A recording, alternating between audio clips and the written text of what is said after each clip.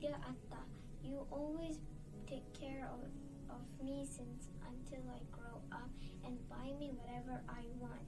Because all the more you bring me is expensive toys, food, clothes, and jewelry, and it costs a lot of money.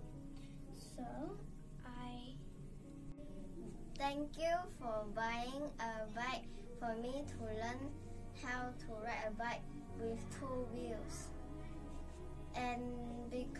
I also I always really want to learn how to ride a bike with two wheels. For example, when I always fell down, you you wouldn't give up for teaching me how to ride a bike.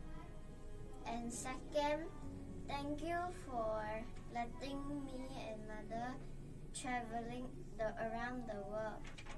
Because two of us always really wanted to go to those places. Dear Dad, uh, thank you for fixing things oh, and cooking food. Cooking some food.